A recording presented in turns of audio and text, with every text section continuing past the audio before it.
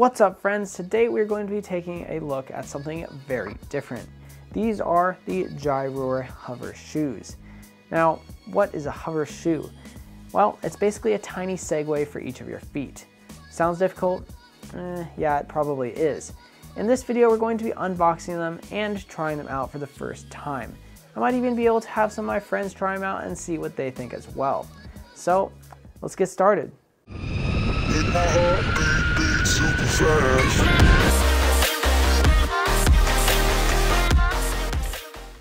Before we get into this unboxing, let me give you a few little tidbits about Gyroor. Who is Gyroor? Well, you've most definitely never heard of them, but they are a Chinese company that makes uh, some hoverboards, hover shoes, a couple e-bikes, and a couple scooters. I'm not sure if they're an OEM or if they rebrand things, but this is the only real version of these that I've seen. However, these do look quite similar to the Segway ones, but a few key differences. Now, Gyroor has actually been around for quite a long time, I guess working on stuff behind the scenes. Not really 100% sure. According to their website, they're over 12 years old, and their customer service was really great when I talked to the rep who offered to send me these shoes. Now, I don't know if you've ever seen any products from this company, but you might have seen their like headliner, which is the F1 hoverboard, which is a hoverboard that goes way faster than you probably should be going on a hoverboard, but it looks really cool. And uh, I think that's probably one thing that most people might have seen in an ad somewhere. Anyways, let's get on with this unboxing. All right, well, let's get right into this. I don't really expect there to be too much in this box, but I'm gonna take it all out and let you guys see.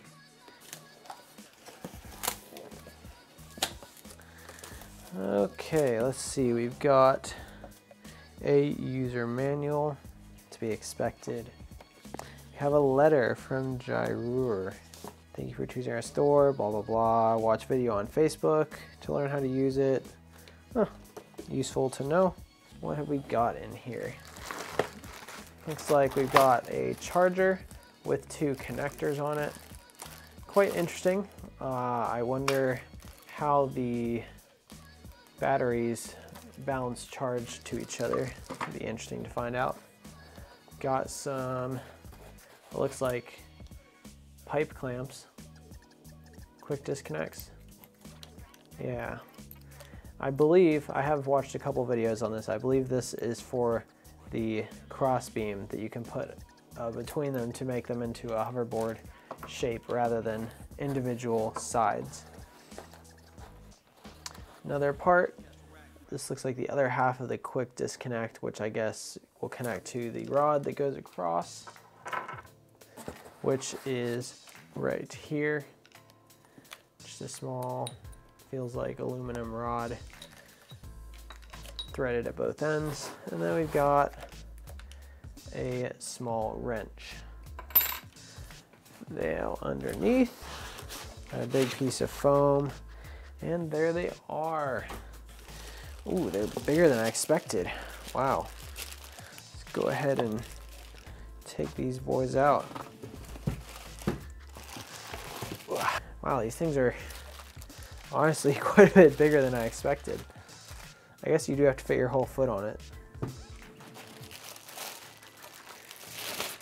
Got some grippy rubber on top. Straps to carry them by. Big old hub motors on there. Very interesting.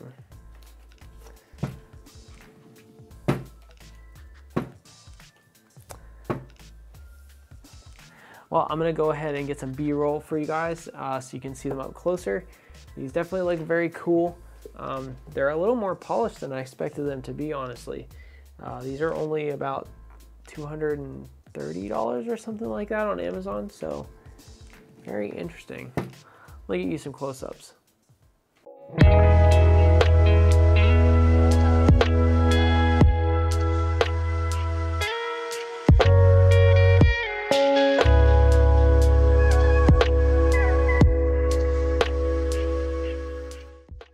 All right, so these are the hover shoes. Like I said, they're a little bigger than I expected, but I mean, you know, I guess you do have to fit your entire foot on it. Got a big old hub motor underneath here. I don't know how wide it is. I haven't measured it yet, but looks like it's probably a good bit wider than any kind of hub motor that we would find on an e-skate. And it's got this rubber on it, pretty thin, and it's a weird texture. It feels kind of like oily. So uh, we'll see how that does once they get out on the concrete. Looks like we've got a power button here and then charge port here. And then it's going to be the same on the other one. Charge port here, power button there. Again, the big hub motor. And these have lights on the ends, which would be in those white areas. And then you got your standing platform on top. So it's not really too much more to go over here. I think uh, we should go outside, test them out, and see exactly how hard it is to ride. Alright, so between the last clip and these upcoming clips, quite a bit of time passed. I waited around for a while trying to figure out the best time to try them out for the first time, and I ended up not being able to coordinate it. So, I ended up bringing these hover shoes to an event called Fully Charged San Diego with some of my friends at SD Eskate, and I was able to try them out there for the very first time, as well as give a bunch of others the opportunity to try them as well. So that's what you're going to see coming up here, and I'll do some more voiceover to talk about what I was thinking at the time. This was my first time riding these hover shoes, and as you can see, I used the fence rail to get on them, and I think that's the easiest way to start off with them. Just get up next to something you can hold on to and step onto them. They do a pretty good job of holding their balance in place when you're not on them, so it makes it pretty easy to step on for the first time. As soon as I started going, having never ridden a hoverboard before, I kinda had to get a feel for how the self-balancing works, because your kind of default is to overcompensate for the direction that you're going and that's where you get the wobbles of the forwards and back on your feet. So uh, it's especially prevalent when you hit cracks and stuff like that. So this surface that we were testing on uh, this perfectly flat nice and smooth surface is actually probably one of the best surfaces that you could try these on for the first time. So I definitely had that going for me. Um, like I just said there, it's easy to get messed up, uh, especially the first time. When you hit cracks and stuff like that, it will definitely tend to throw you off balance.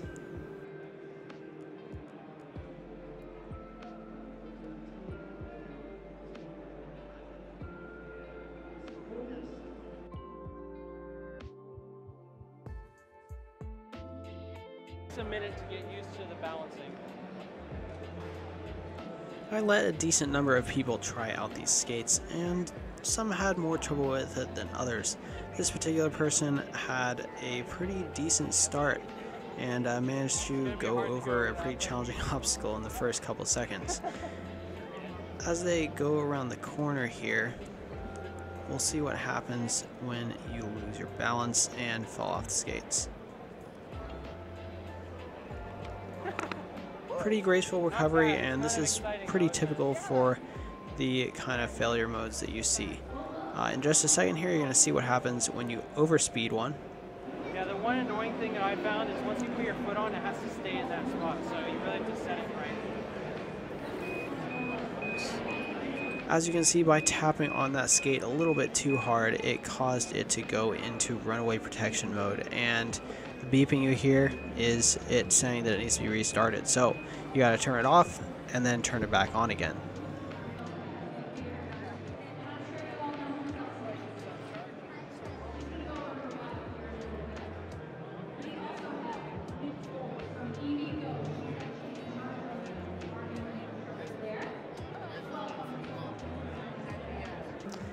This guy had a little bit more of a hard time with his startup, but he managed to get it after a couple minutes.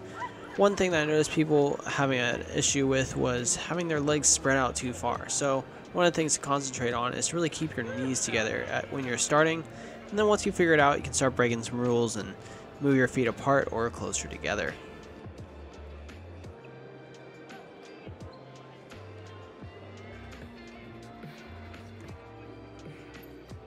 Here we come around to one of our best first timers of the entire time.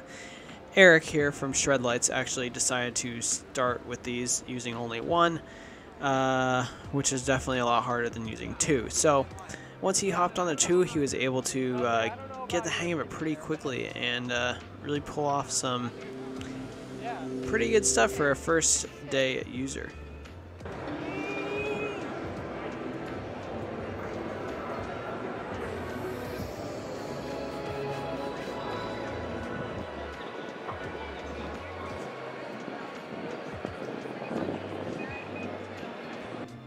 Right about there, you can hear him hit top speed. If you manage to hit pushback like that and it starts beeping, you can recover by slowing down. And that is exactly what he did.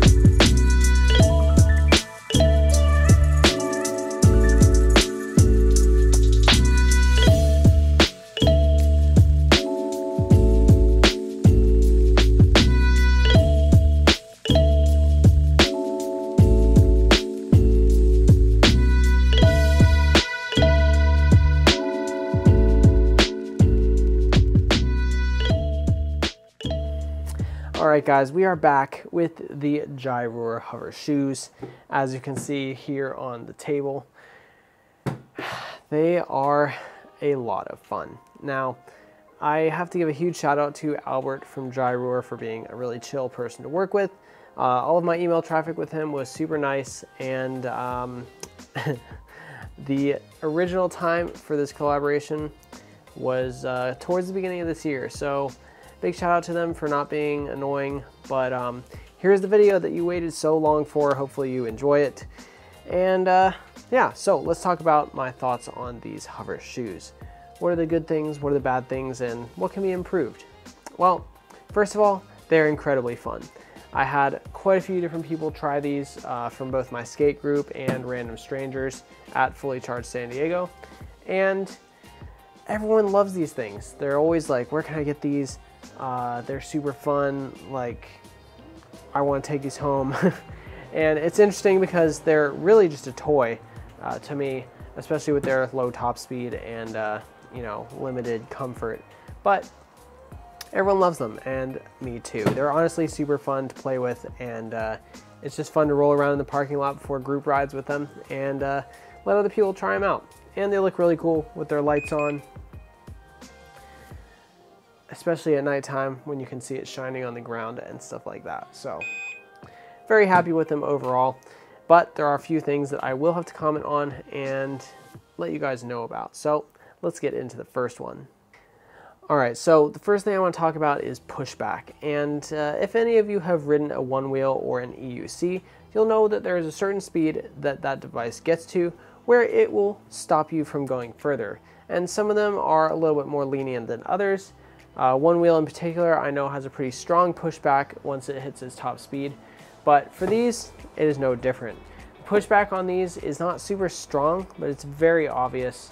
Uh, once you hit that top speed, the pushback is pretty severe, and if you keep going past it, uh, they'll just completely cut out. So that is one thing to know. Um, these are not very fast. They claim approximately 6.5 miles an hour, I think 10 kilometers an hour, whatever that conversion is, I can't remember. But uh, the top speed is not very high on these, and once you hit it, uh, that's pretty much it. Like you can ride on pushback for a little bit, but if you go way past it, uh, they'll just cut out and you'll probably fall off. So definitely be careful about that. I think um, what they did with the pushback is pretty decent on these.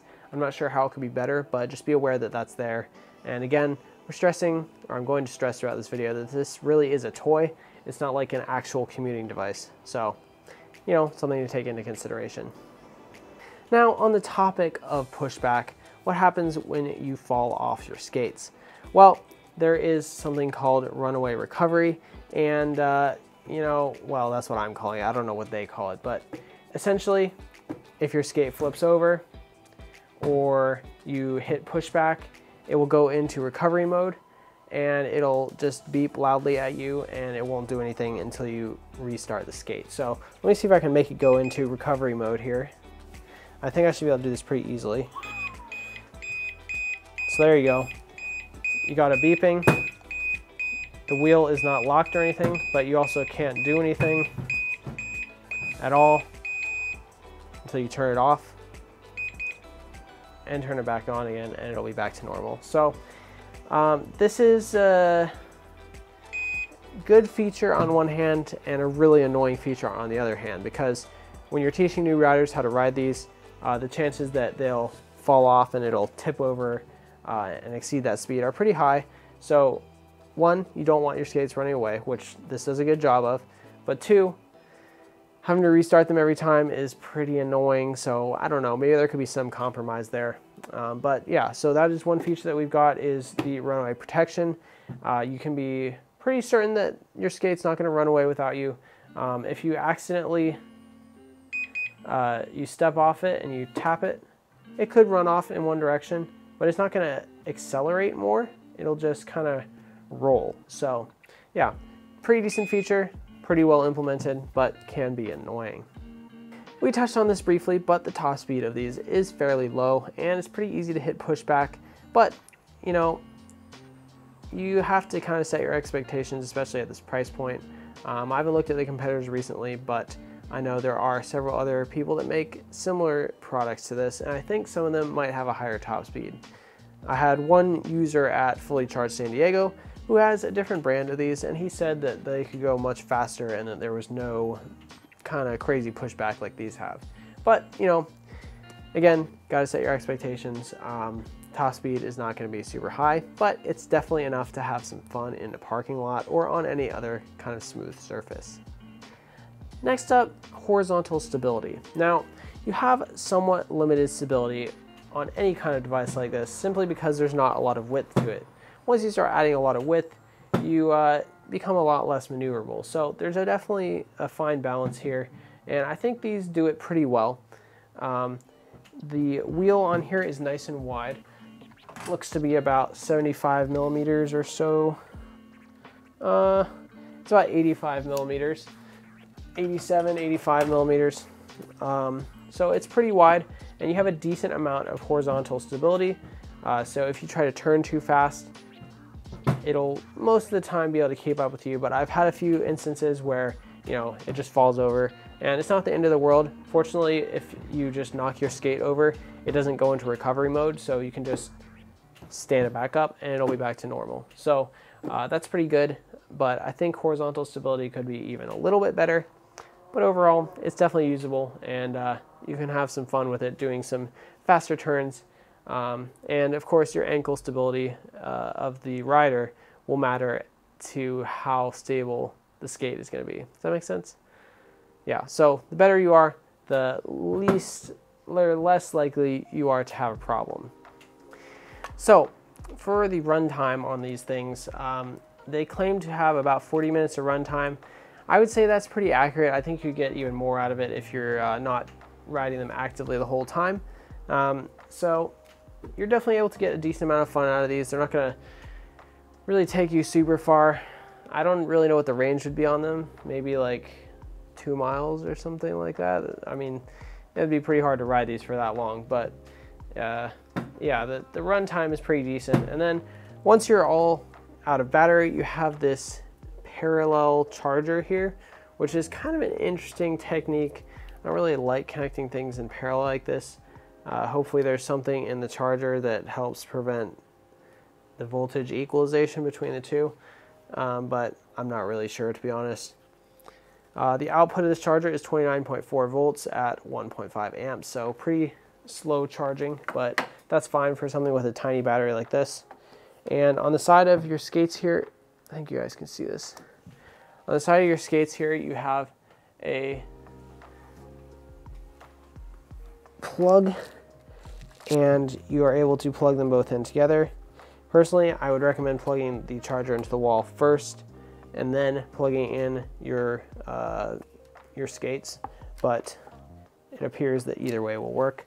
So plug them both in and they'll start charging. And uh, there's a little light on the charger and it will be green when your charging is done. They take a decent amount of time to charge, but uh, yeah, not too bad overall, pretty simple. All right, so what are my overall thoughts on these things? Honestly, these are probably one of the wackiest and most fun devices that I've had uh, on the channel so far. It's just such a random thing. Uh, I don't think I would ever consider just buying this without trying it first, so I really appreciate Gyroor for sending these over.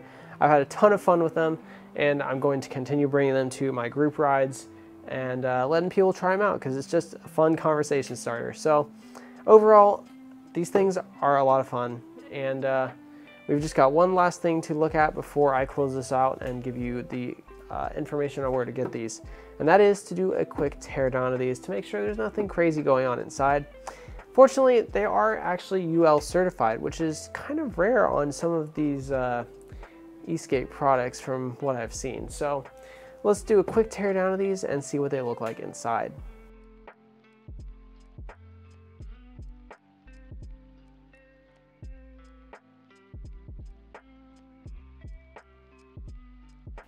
All right, so hopefully you found that teardown interesting.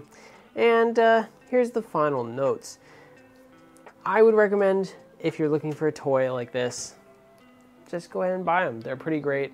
Uh, the price has gone up a bit since uh, I originally got them. I believe when I got them, they cost around 130 $140.